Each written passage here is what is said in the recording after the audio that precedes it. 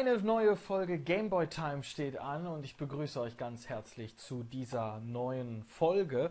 Und ja, ganz herzlich begrüße ich auch die Renn, äh, Rennspieler ja, der Serie Need for Speed. Denn das ist heute unser Thema.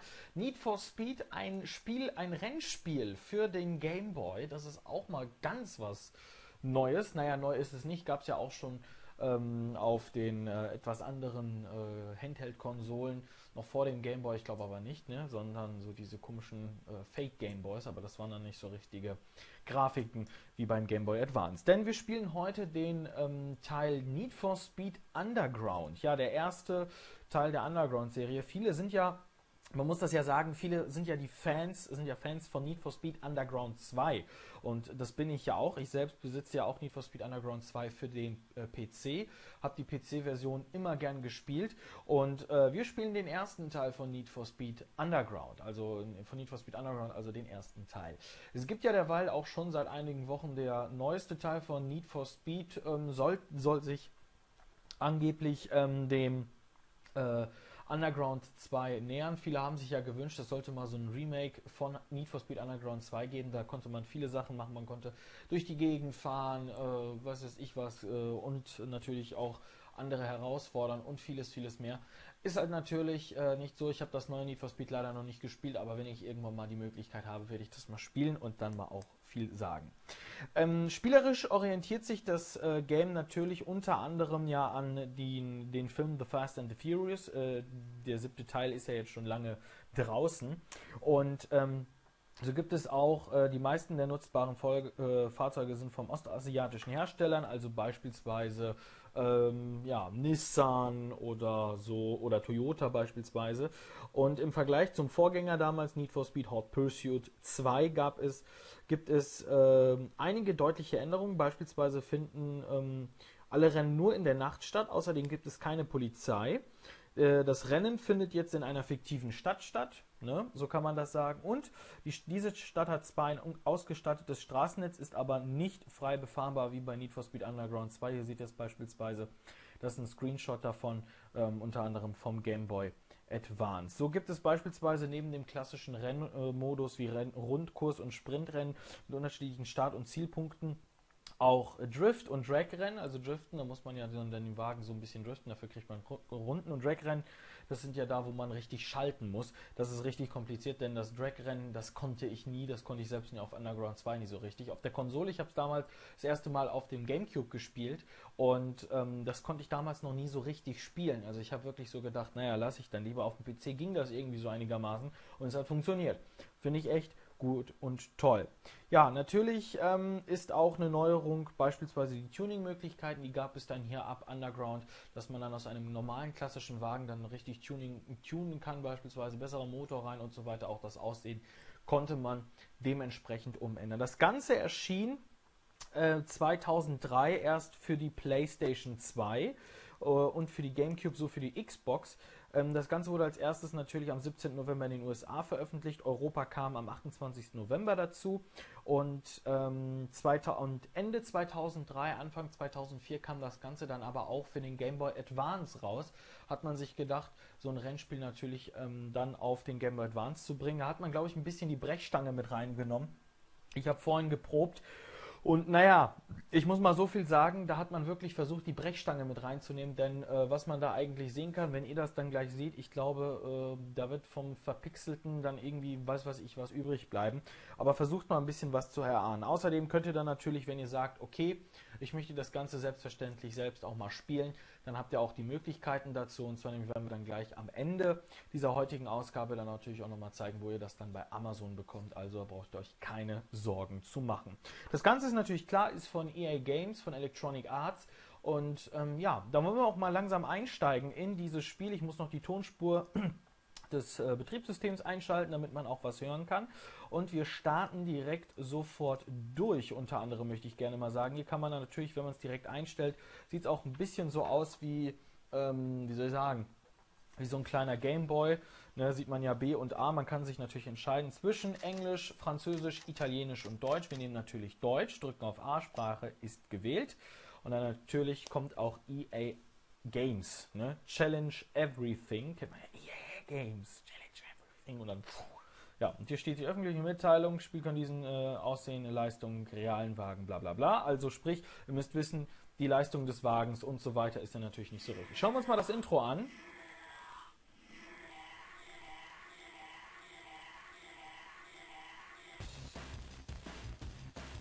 Hier sehen wir das Intro, wo man natürlich diesmal sehen kann, man kann den Wagen schön optisch tunen und natürlich auch ähm, technisch tunen, also sprich bessere Möglichkeiten. Das war natürlich dann auch die Möglichkeit, die dann Underground ähm, dann möglich gemacht hat. Bei Underground 2, wie man ja schon weiß, wenn ihr es natürlich gespielt habt, wenn ihr das immer noch spielt, so wie ich, also ich habe es jetzt in letzter Zeit nicht mehr gespielt, denn auf meinem Laptop äh, mit Windows 7 schmiert das mal ab und zu mal ab. Finde ich auch schon ein bisschen ulkig. Aber naja, und da sehen wir es. Need for Speed Underground 1. Ne? Also hier sieht man es beispielsweise. Und man hört auch ein bisschen ne, die Mucke im Hintergrund. Ich hoffe jetzt auch wirklich nicht, dass ich dadurch, dass dann dieses Video, also diese Ausgabe durch die GEMA gesperrt wird. Nochmal müssen wir uns das nicht angucken, müssen einfach stumpf auf Start drücken. Geben dann natürlich auch unseren Namen ein. Natürlich klassisch wie immer. Ne? Natürlich Waldi. Oh, guck mal, passt geradewegs. Jetzt habe ich mich Wald genannt, ne? Ja, ist auch ein bisschen komisch. Äh, Spielsprache, mitwirkende Profil speichern, Profil löschen. Ja. Äh, Profil gelöscht. So, dann geben wir es nochmal ein. Ja, kann man das natürlich machen. Mit dem Steuerkreuz selbstverständlich alles auswählen. Mit A bestätigen. Mit Start ist natürlich klar, kann man das dann auch offiziell bestätigen. Dann haben wir natürlich Quick Race, Go Underground, Mehrspielermodus. Beim Game Boy Advance natürlich dann mit Linkkabel. Natürlich kann man seinen Wagen tunen und natürlich die klassischen Optionen. Wir gehen mal ins Quick Race rein, haben natürlich dann den äh, Rundenkurs, den Sprint, Drag oder Drift. Ich mag am liebsten den Sprint und es geht sofort los. Ihr könnt euch jetzt ein Auto raussuchen. Wir haben hier natürlich Ford, äh, wir haben Subaru, wir haben Nissan. Leider ja, ist der Wagen gesperrt, der 350Z, mein Lieblingswagen. Ein Honda, der ist auch gesperrt, der Acura, Mitsubishi haben wir auch, Honda, der VW Golf ja, mit seinen Abgaswerten und so weiter. Also hier sind einige Wagen wirklich gesperrt, auch der Skyline, der natürlich sehr berühmt ist in der Need for Speed äh, Serie, der ist halt natürlich noch nicht verfügbar. Jetzt müssen wir natürlich auch mal gucken, welchen wir nehmen. Ne? Da haben wir Mitsubishi Eclipse und den Toyota Elysia. Dann nehmen wir einfach mal den Ford Focus. Den wählen wir natürlich. Und jetzt müssen wir natürlich hier sehen, Rennsteuerung automatisch. Die Schwierigkeit machen wir mal auf leicht. Ne? Muss natürlich auch mal sein. Ne? Und ähm, gehen dann natürlich auch weiter, dann können wir uns auch Strecken aussuchen, Liberty Gardens, Broadway, First Avenue, Truck Stop, 7th und so weiter. Wir nehmen einfach mal die erste Strecke, das ist nämlich Liberty Gardens. Und wir müssen jetzt mit A Gas geben. Ja, das war jetzt ein Fehler. Und natürlich auch hier sehen wir, gibt es auch Gegenverkehr. Und das ist auch hier, finde ich, ein bisschen schwer zu sehen. Ui, jetzt habe ich gedriftet. Ähm, ist das natürlich halt auch ein bisschen schwer, das Ganze zu machen, äh, selbstverständlich, denn es ist alles so verpixelt. Das ist natürlich jetzt so eine, äh, so eine, ja nicht eine Änderung, aber das ist natürlich so eine Schwierigkeit, ne? dass man das halt natürlich mal, jetzt versuche ich mal ein bisschen meine Klappe zu halten, weil ich muss ja auch irgendwie versuchen, äh, die Musik im Hintergrund natürlich auch äh, nicht laufen zu lassen, weil sonst hat man dann natürlich das Problem, oder habe ich dann das Problem, dass äh, ich dann natürlich äh, nicht dieses Video gesperrt wird. Bin nur Dritter geworden, das waren die Sprintrennen, 1 Minute 50, also plus ein, eine Sekunde, sagen wir es mal so. So war das dann natürlich. Wir stellen dann auch mal, ich merke auch gerade im Hintergrund, da ist auch dementsprechend, hört man das auch noch, das Knicken. Dafür möchte ich mich auch noch mal kurz entschuldigen. Also das Knicken kann ich jetzt leider nicht wegmachen. Wir speichern mal einfach mal mein Profil. Ist jetzt gespeichert wahrscheinlich. Sprache können wir auch noch mal umstellen und sonst auch nichts. Kommen wir nochmal zurück. Gehen wir dann nochmal in den Rundkurs rein. Und dann nehmen wir natürlich dementsprechend wieder den, ähm, ja, den, äh, den Ford Focus. So, wir machen nur zwei Runden. Bleiben natürlich bei leicht, nehmen diesmal das Stadion, ne, Stadium. Und jetzt los, damit ich mich also ein bisschen konzentrieren kann.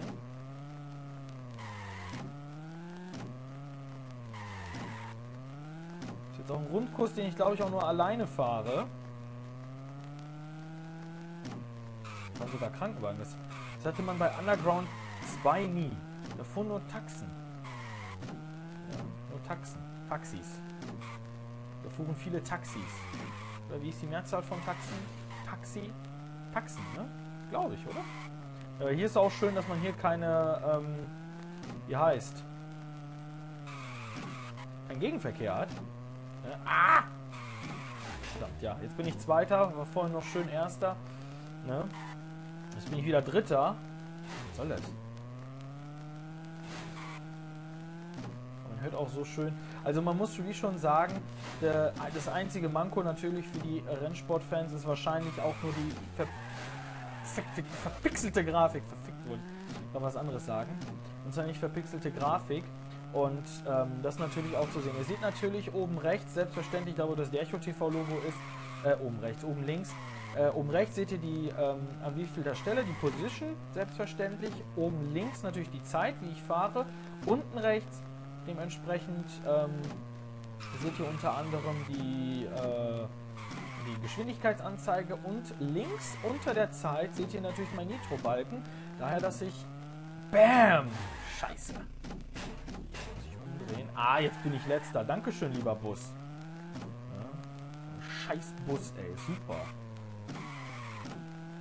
Dann hat, hat der Typ noch auf leicht eingestellt, weißt du, und dann... Super.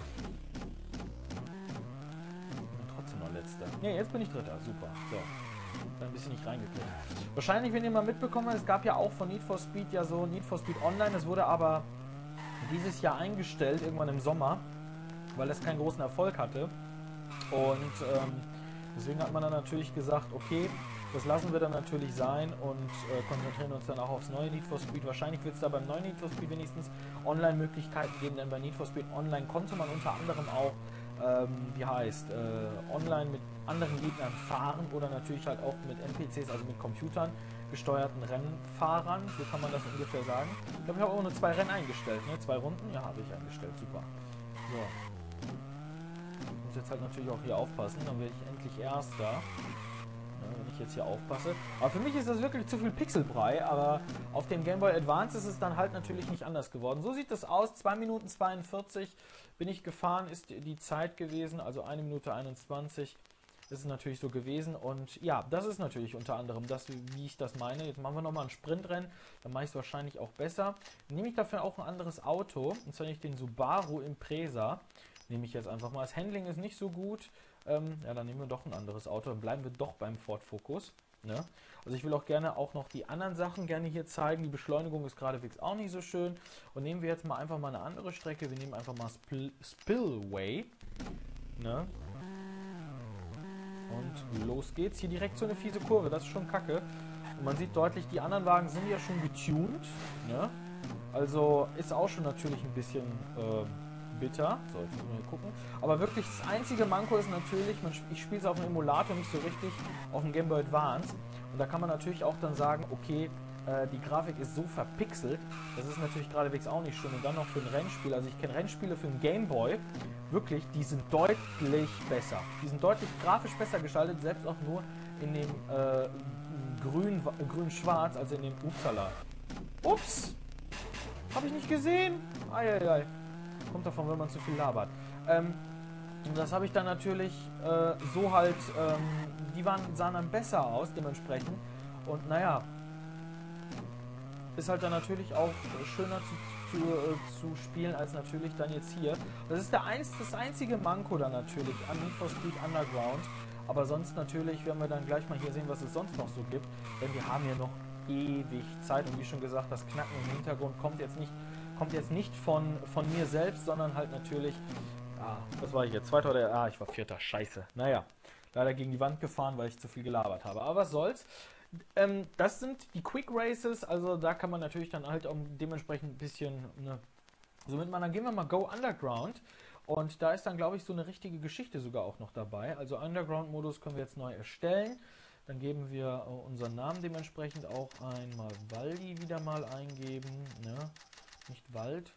Und ähm, kommen dann hier. Willkommen im Underground-Modus. In diesem Modus steigst du in die äh, Welt der Underground-Rennen ein. Du beginnst als unbekannter Rennfahrer und musst dich die Rang Rangliste Underground-Rennen und so weiter. Also das Ganze dann natürlich abläuft bei Underground. Muss natürlich dementsprechend halt äh, gut sein. Du hast wie immer nur die äh, Wagen zur Verfügung, die du auch nur kriegen kannst. Ne? Finde ich ja jetzt auch ein bisschen kacke Nehmen wir mal, gucken wir mal, Beschleunigung, äh, ist der Fokus nicht gut, aber wenigstens der Subaru.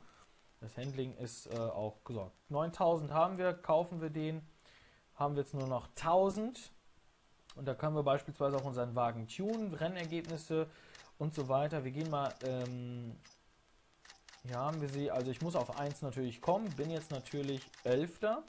Und ähm, ja, wir gehen natürlich dann jetzt auch, äh, können dann natürlich auch dementsprechend die Herausforderung äh, annehmen. Ne, drücken jetzt auf A, haben wir beispielsweise jetzt hier gemacht. Rennstartgebühr sind 100, Rennsiegesprämie sind 500. Und hier steht das dann natürlich auch ähm, heraus und machen das Ganze dann natürlich US Drag Race. Ach du Scheiße. Ach du Scheiße. Ja, kann ich noch zurück? Nein, kann ich nicht. Okay.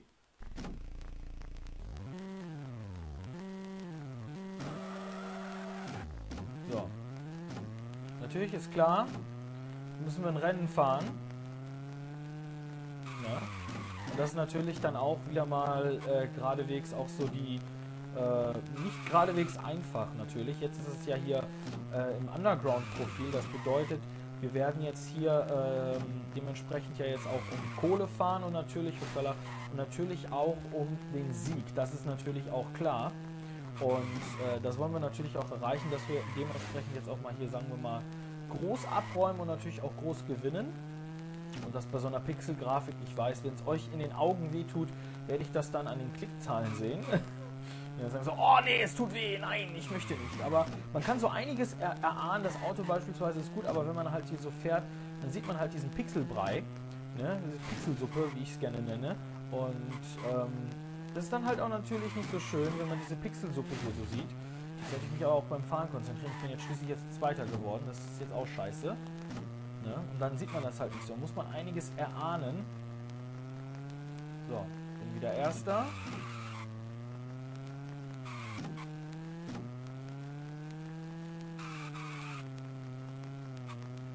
Aber man kann sich hier... Ah, fuck. Scheiße. Bin ich zu weit Dingens gefahren. Jetzt will ich nicht letzter werden. Das ist auch noch... Ja, das ist geradewegs ein Sprintrennen, sehe ich auch. Das ist nur eine Runde. Ja. Das heißt, jetzt muss ich hier mal aufholen. Wird aber nichts. Ich werde nur Dritter. Das ist jetzt auch ein bisschen doof. Bin jetzt Dritter geworden weil ähm, das geradewegs auch nicht so toll ist. Jetzt schauen wir mal in einem. Äh, ich habe aber trotzdem 500 gewonnen, weil ich denjenigen, der, den ich herausgefordert habe, ähm, natürlich dann auch ähm, quasi gesehen, sagen wir mal, äh, besiegt habe. Deswegen habe ich auch die 500 gekriegt. Sollte es falsch sein, dann korrigiert mich bitte in den Kommentaren. So, was ich jetzt auch noch freigeschaltet habe, ist beispielsweise Leichtbau Level 1 und Stoßstangen Level 1. Und dann können wir jetzt beispielsweise in Wagen tunen gehen, dann können wir Wagen aufbewerten und dann haben wir natürlich hier, wir können hier beispielsweise ins Aussehen gehen, wir haben hier Karosserie, Stoßstangen, was haben wir denn hier? So, Werksausstattung ist schon installiert, dann können wir hier beispielsweise die Sniper reinsetzen, aber wir haben kaum noch Kohle, ihr seht 1400, keine Ahnung, Dollar nenne ich das jetzt einfach mal Geld, ja, sind nur da, deswegen ähm, werden wir natürlich äh, zur nächsten Nacht übergehen. Und ähm, werden natürlich jetzt erstmal, ich schätze mal, jetzt werden wir Chipper mal herausfordern. Ne? Und äh, dasselbe natürlich noch einmal und machen hier die Drag-Steuerung auch auf normal, also jetzt nicht Profi, sondern ganz normal. Also das bedeutet, wie jetzt vorhin. Und starten jetzt natürlich auch wieder durch. Oh, nein! Ah, fuck it! Super. Also das bedeutet, jetzt wir gegen ein Auto geknallt. Ne? Schadensmodell gibt es hier auch nicht, wie ich gerade sehe. Also es gibt hier kein Schadensmodell. Und ähm, das heißt, ihr könnt mit eurem Auto dagegen knallen, wie ihr wollt. Das ist ja das einzige Manko. Oder viele haben es ja natürlich, oh guck mal, Dankeschön, äh, haben es ja natürlich ähm, schade gefunden. Also ich finde es beispielsweise, finde ich es ein bisschen scheiße, wenn man bei Underground 2 kein Schadensmodell hat. Weil dann kann man auch deutlich mal sehen, wenn man sein Auto mal ein bisschen zu brei fährt. Oh, schnell der Bus. Knall ich dagegen jetzt. So. Ähm, weil ich stehen geblieben Schadensmodell, dass man dann natürlich halt sehen kann, wie man sein Auto quasi zu Schrott fährt. Das sind ja bei einigen Need for Speed Teilen, äh, gab es ja ein Schadensmodell und das äh, gab es ja auch so ein bisschen in die Kritik, dass das so gemacht wurde. Aber ähm, ich weiß gar nicht, ob die Kritik auch gerechtfertigt, berecht, äh, so ge berechtigt war oder nicht. Das kann ich jetzt auch nicht so genau erzählen. Aber, uh, ah, puh. Bin ich letzter, weil es nur drei sind. Das heißt, ich müsste jetzt aufholen. Ja. Aber es sind zwei Rennen, also zwei Runden. Also das bedeutet, ist noch alles offen. Uh, das war, ging in die Jose. Ja, so, das Rennen machen wir dann auch noch. Dann ist auch natürlich Schluss. Dann will ich auch noch ein bisschen mehr zeigen. Denn das ist jetzt quasi der Story-Modus. Also Story-Modus. Ich habe mir auch so immer wieder gefragt, wie will man solche Rennen wie Need for Speed beispielsweise auf den Gameboy... Oh, das war quasi durchgefahren oder nicht? Durchs Auto. Egal. Ich habe mich immer wieder gefragt, wie will man das natürlich hinkriegen. Ich kann mich noch an ein Gameboy-Spiel erinnern. Ich habe das früher immer gern gezockt. Da hat man auch Rennen gefahren, aber da fuhr man dann auch in... Äh, in der First Person fuhr man das, also First Person, also Erstpersonen-Modus fuhr man quasi dort, dass man ähm, dann quasi gesehen hat, wie man am Lenken war oder so, aber es gab keine Hände oder so, sondern ganz normal eigentlich nur, ähm, wie heißt, man hat das Auto gesehen und natürlich auch die Überholung und wenn man gegen was geknallt ist, gab es natürlich Totalschaden und alles. Ich weiß leider nur nicht, wie das Spiel heißt, weil sonst hätte ich dann gerne das euch auch mal bei irgendeiner Gelegenheit bei Game Boy Time gezeigt. Also es hatte irgendwie was mit ähm, Scheiße. Nein, nicht mit Scheiße, sondern äh, mit, ähm, wie schon gesagt, mit Jeeps zu tun. Ich weiß noch nicht mehr, wie das... Verdammt! Dankeschön, ja. Hab trotzdem jetzt verschissen. Ne? Ist immer wieder so schwer, bei solchen Spielen sich zu konzentrieren. Ne? Aber ich krieg das wohl, glaube ich, jetzt noch hin. Ah, fuck you. Krieg, ich krieg das nicht mehr hin. Also zweiter werde ich wahrscheinlich noch. Auch nicht mehr. Den zweiter werde ich auch nicht mehr, also...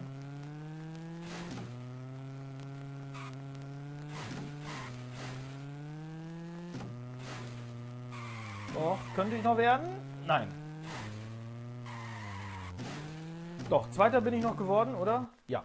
Aber ich habe Clipper nicht besiegt und ja, so sah das dann Ganze dann natürlich aus. Ich habe Clipper nicht besiegen können. Clipper schlägt Waldi in einem Rennen. Ja, das ist ein bisschen schade und äh, deswegen beenden wir das Ganze mal. Also geradewegs jetzt nicht so geradewegs so schön gewesen. So, dann gibt es noch den Mehrspielermodus, wie schon gesagt, mit dem äh, Game Link Kabel oder so, ähm, wie man das auch immer mit dem Game Boy Advance halt dann gemacht hat, konnte man das Ganze machen. Dann natürlich Wagentune. Das konnte man dann auch hier machen. Hier nehmen wir beispielsweise, ja, hier konnte man natürlich auch nur mit denen, die man freigeschaltet hat, kann man natürlich wählen und dann dementsprechend tun. Das ähm, müsst ihr jetzt unbedingt auch, ah komm, das zeige ich euch jetzt, dafür nehmen wir jetzt mal uns mal eine Minute Zeit. Nehmen wir jetzt mal den Fokus, nehmen wir den jetzt einfach mal zum Tunen. Dann verändern wir einfach mal das Aussehen. Wir nehmen einfach mal hier die Kaross Karosserie. Nehmen wir Stoßstange vorne, nehmen wir mal die Sniper, installieren. Dann ähm, gehen wir zurück, Stoßstange hinten nehmen wir, ja hier ist das Teil gesperrt, war ja klar. Ähm, Seitenschützen nehmen wir, hier ist auch alles gesperrt. Also ich muss vieles natürlich freischalten, also so viel freischalten hätte ich mir gar nicht gedacht, wirklich. Also ist natürlich jetzt ein bisschen schade.